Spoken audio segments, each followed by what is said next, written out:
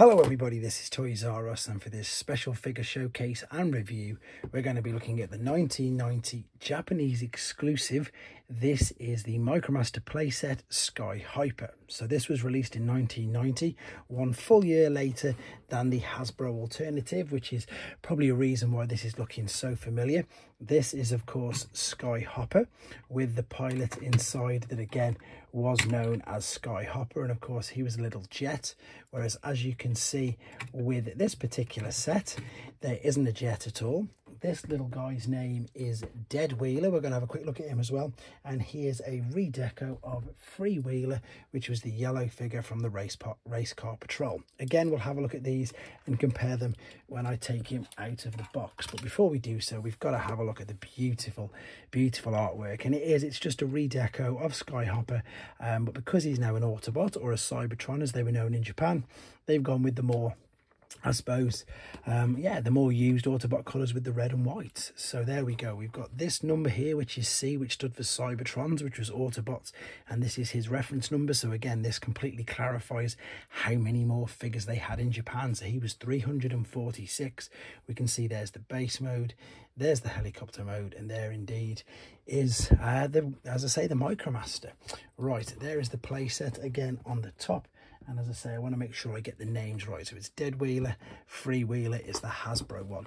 Now this is what makes, I suppose, the zone figures um, as good as they are and the fact that they were and in fact all the micromasters even when hasbro released them the fact that they are these amazing little play sets that do all link together so i can see here we've got you know metroplex there funnily enough is sky hyper there there is galaxy shuttle both modes um, and we've got all the other of the micromaster bases countdown etc all building a huge huge city we've got a little nod there to the episode and there was only one cartoon episode of the um, uh, called Zone itself. There's just one episode and there's a brilliant little nod to it there. And we've just got more product shots on the side. Right, the uh, tech spec is there. And then this is what I like about these. I think it's really clever that they did this in Japan. You can see they put the robot points on the inner flap. So you didn't have to cut or damage the boxes at all.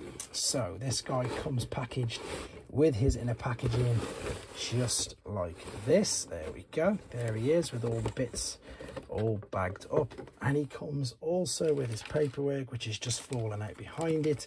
Um, this is a used copy because um, the sticker sheet has been used. Um, we've got the instructions, which again are quite simple, but I'm going to go through both modes on this video. Uh, we've got the feedback card and we've got this beautiful zone catalog. I'm not going to spend much time on this because I've done a separate video on this on the channel already. And I suppose this is the main figures there from the zone toy lineup. There is Diatlas, Sonic Bomber. And once again, there's videos of all of these on the channel separately if you wanted to watch them as well. So let's move these out of the way. Let's get out the accessories and indeed the main body. So this is pretty much how he did come packaged, not how he would have come packaged, how he did come packaged with the paperwork would have been in the side. Now, let's have a look at it. It is a lovely, lovely colour. I'm so pleased it's still um, white. It hasn't fully sun faded yet. It's not bright, bright white, um, but to me, it's, it's looking good enough. As I'm and I'm hoping I'm going to be able to transform it with no issues whatsoever as well. So let's have a look. We'll go with helicopter mode at first which is we're going to attach the rotor blades. Why was I going to put it there? I have no idea. We were going to put them there. And then the parts we've got in here, these, they're taped up, but again, you can already tell that this playset, I think, has been used because they've put the stickers on it. Um, I brought this from another private collector, to be honest, and he's just had this for years and years and years. He very, very kindly contacted me, saw the channel, he saw that I was after a couple of Japanese figures and yeah, very kindly agreed uh, to sell me some of the ones from his collection to help me complete mine. So huge, huge thanks to Lindowan for that. So we've got the radar dish, which is got well, it's going to double up as a radar dish. That's going to attach to the back. There is the Micromaster. In fact, while we're here right now, let's do a very quick comparison between the Hasbro variant and the, oh, and the Takara. Only difference is exactly that, just the colour scheme. It's exactly the same mould and just as I say, the colour scheme. So there we go. Let's put that there. Right, we don't need the ramps until it's in base mode. The long, thin gun is going to attach via that port at the bottom. That's really stiff. So maybe, I'm not too sure if it's been played with. It must have been because that bit's in the middle there. Um, and what that bit in the middle is, I'm going to show you in a second. So here are the side guns. Um, there we go. And the bit in the middle there, you can see it's got a little dowel on it. And that little dowel means that you can then transform your Micromaster and he will stand to pilot it. So we've got this cutout there and then this will slot, should do, stand in and over. Has I got it in? I can't tell. There we go. It looks like he's in there. So i think what we definitely need to do is some comparisons. You can clearly see the difference between the colors it's an obvious completely different deco. This is the more traditional decepticon you know the purples and this is the more traditional autobot the white um, and the red he's loose of course because I just pulled him out and again all the accessories are i suppose they just again suit their faction we've got gray and purple whereas we've got red and blue. All right, let's move this guy out of the way just for now. And I'm going to actually have a go at doing this in one take on the video. So let's take the propeller blades out. These are all one, by the way. They don't fold in half. They're just all one. And of course, there is where they're rotating. Uh, the radar dish I'm going to take off at the back.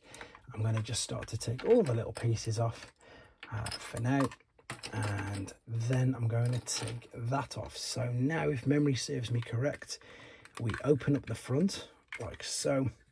We then open up the sides like so. This is going to come off. Yeah, this must have been played with them because this shouldn't go, well, it doesn't go there in the base mode, unless it was just kept there for storage. Again, the stickers on here look beautiful. It, it perhaps has been played with, but it's in fantastic condition. Look at the fact, these are things to look out for, even if you're after the Hasbro one, you don't want any corrosion inside these on the beams. These fold out, the stickers on it look great. Um, and indeed, this carefully, that's folded up reasonable actually. That's going to fold up all the way. Then these fold out as well. These were ingenious little things. I don't think these got the credit that they deserve to be honest the micromaster bases because they were as you can see or hopefully as you're going to see in a second oops as he just pulls that off just a load of fun. Right so there is your basic bog standard base. If you've got no accessories it's a little bit bland. Whereas if you've got the accessories this is going to go on the front right there. That's going to fit just pretty much I didn't have to take it off to be honest looking at that. The rotor blades now go where I was going to put them um, the first time around. They go on the back. Yes they do. I'm just checking. So we've got three ramps. You've got two which are the same and these just as I say end. Whereas you've got this is a connecting a connecting ramp so you can connect this to other play sets. So we're going to put these on here like so. Don't worry I'm going to pick the camera up in a second when it's fully built so one of these either side, and as I say, I'm going to attempt to. I might have to um, commandeer the kitchen table downstairs though, um, one day when everybody's out and try and build a huge, huge city because I really need to because especially with some of these zone figures, they're just so much fun. I'm struggling getting this in, but I don't want to break it. I always get really nervous when doing this. I probably shouldn't transform them or at least do things like this, but I want to share them with you and I want you to see them all as well. Right, why is that not going in? That's a bit better. Is that in? I might have to stand up and reach over to get this in. That's better. So that's gone in there now, no problem. Right, this is the connecting ramp. So this is going to go at the front. And as I said, you could connect this to other play sets, including if you're a younger viewer or you only collect the newer figures, the Earthrise, uh, so Skylinks, um, Hot House, Ironworks, all them. This will even connect to them. It is a pretty uh, much, I was going to say, industry standard connectivity ramp, even through the G1 and into the later figures. That's just about made its way on there. This ramp that was on the inside of the cockpit is now going to go on there. And now, of course, we need to power it up. So let's put the big gun under there, the two small guns, one either side, like so and then of course the Micromaster. Is it Dead Wheeler? It must be yeah. Dead Wheeler can then go on the side. Right bear with me with this. Let's pick this up. And that's how it looks. I think that's still out, to be honest. I'm going to have a go at putting that back in properly in a second. But this is the Micromaster playset Sky Hyper in his rather swish looking uh, base mode. And again Micromasters are perfect with these in either mode um, they work really really well and so do the old original Takara World's Smallest Transformers as well. They work really well with this particular figure. So one last thing to do because I'm going to be displaying it in helicopter mode just because it's that little bit smaller. Let's just very quickly then take it back. So open take the weapons off take that off. Uh, I'm going to keep the radar dish there obviously because I've realised that I can and then what I think I'll do I'll do another video as well on Skyhopper uh, just because most people won't have actually heard of this particular one. Um, and it would obviously it's a perfect opportunity to do that. So let me see if I can attach this back. Hopefully get it done without oh damn without having to stop the video and attach them all. And hopefully as I say no damage caused. It looks like that's going to fit in there. It's just really temperamental which I suppose is a good thing because it's pretty much like it's brand new. It doesn't want to fit in. Um, and again I don't want to bore you guys too much especially on such a special figure. Ah there we go. That's has that gone in? Now it's sort of gone in. Right now I am as I said I don't want to waste any more time. Ah there we go. That's the easiest way to do it I've put it in there and I've just sort of to be honest I've just slid it and pushed it down and it's managed to fit in. But as I say Skyhopper is exactly the same. So if you go after a Skyhopper make sure that that clips together okay. Don't forget to close these in before you fold the sides up because otherwise you won't be able to. So let's rotate this around take off the blades before I forget and then carefully fold this back very carefully and now you can fold the sides up.